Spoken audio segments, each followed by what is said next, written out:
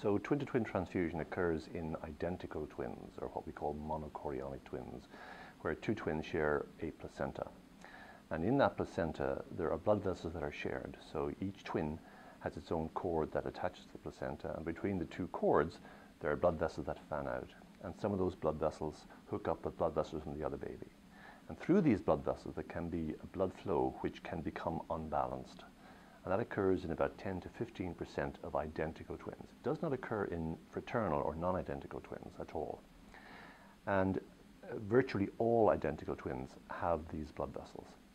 So what happens is that one baby gets too much blood, and what that baby does is it, it basically pees off the extra fluid, the extra load.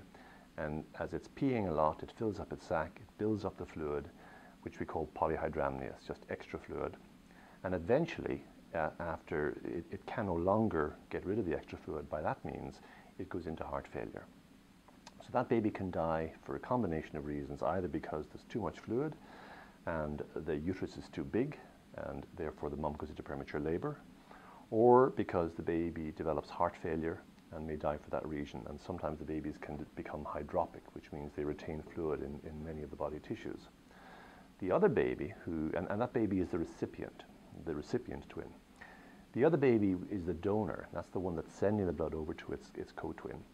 And the donor, because it's, it's working so hard sending blood to its co-twin, it doesn't send blood to its kidneys anymore. So it doesn't perfuse the kidneys, and if it doesn't perfuse the kidneys, it doesn't make urine. And if the baby doesn't make urine, it doesn't pee, because amniotic fluid is essentially urine. So what happens is we get one baby with very little or no amniotic fluid who is stuck over in the corner of the uterus, and the other baby who's got lots and lots of fluid around it. And once you know that a baby is monochorionic, or, or the babies are monochorionic or identical twins, then those pregnancies should be followed every two weeks throughout the pregnancy until delivery with ultrasound, Spe specifically looking for any of the, the, the, classical signs in ultrasound of twin-twin transfusion. And it's not just ultrasound. So the important thing is that ultrasound is done at the correct time. And the most useful time is initially at 11 to 14 weeks. And this applies to singleton pregnancies as well, because that's a time when we can see how many babies there are, we can measure the gestation, make sure the dates are correct, we can look for any abnormalities, um, and you can pick up signs that a baby may in fact uh, have a number of conditions that could be harmful to the pregnancy. So it, between, so it can be very successfully treated now. And the, the problem arises because of the anastomosing blood vessels, the blood vessels that are, are linked up to the blood vessels in the other baby. So what we do now is we do a, a fetoscopic procedure. So we use a very, very tiny, tiny telescope. And through that, we, we, we, we put that into the mom's tummy, a bit like an amniocentesis. And we can see the placenta, and then we pass a laser fiber down and essentially ablate or block off all of the, the culprit anastomosis. So the blood vessels are causing the problem, we divide each of those. So our attempt is trying to turn a, an identical or a, a monochorionic twin placenta into a dichorionic twin placenta. Now it's not, obviously, because they've got the same genetic material, but from the point of view of the vascular anastomosis, the blood vessels that are joining up, we completely divide those. And that can reverse the situation completely. And it doesn't really matter how sick the babies are because we've seen many babies with very severe heart failure where really there's poorly contractile heart. And the, this can be reversed very rapidly um, with, with a laser procedure. So the survival rate, if we do not do anything for twin-twin transfusion, is in the region of about 10 or 15 percent. That can be improved to about 80% for at least one baby and about 60 to 70% for both babies with timely intervention uh, by laser. and most patients who come who have the diagnosis uh, go to the operating room again within 24 hours. So I think making a rapid diagnosis, referring appropriately, and intervening in a timely manner results uh, can give you very good results. It's not 100%. So for instance, in Canada every year there are about 250 cases of twin-twin transfusion. I'm not talking, not to mention cases of TAPS and all of the other things you're mentioning. Um, and currently there are, between the three centres, so that's Vancouver, Montreal and ourselves, there are approximately 100 cases treated every year. So we're missing an awful lot of cases. And somebody, the, if a mum is aware that her abdomen is increasing rapidly in size, then that might be a warning sign that she in fact is developing uh, extra fluid, which is the first sign of twin-to-twin transfusion syndrome.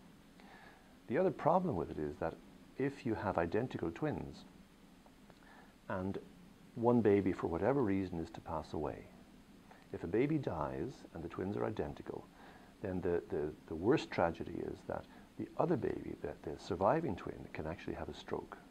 And if the baby has a stroke, it will either die, it will recover completely, or it may recover with some kind of neurological handicap. So the ultimate tragedy is that you lose one baby and you have another baby with uh, some kind of neurological damage. So in treating the condition, even if one baby is to pass away later on, at least what has happened is you've protected the sibling so that there should be no damage to the sibling uh, because those anastomoses have been blocked. I know you take your time. No, the, the most important thing is really early ultrasound to determine chorionicity, and that is by far the most important. And then after the diagnosis has been clearly made, and it, it can be made in the 100% of cases, then that those mums should be followed every two weeks for an ultrasound. If there's any suspicion on the ultrasound, that may be stepped up to once weekly. And if there's any of the classical signs on ultrasound, which everyone is aware of, any, any, any sonographer or, or radiologist will be aware of these, then those mums should be referred um, really immediately to, to one of the centres. Um, and there's always one of us on call. Well, um, he's a boy, uh, Aiden Nash. Kids on. agree with that, certainly. Benedict? Yeah, I can see everything great. So that's the normal plan, you can see the here for this baby, okay? There we go, so that's really what it should be. See this little boy,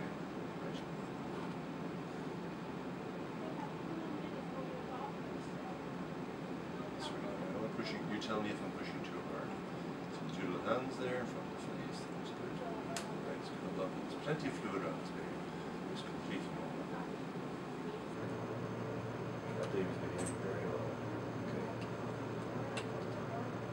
Katrina, you're not filming what's on the screen right now, right? No, I've got you, just you.